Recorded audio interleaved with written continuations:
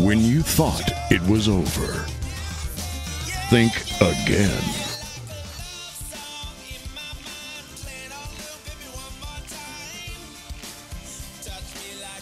For the first time, you write the rules.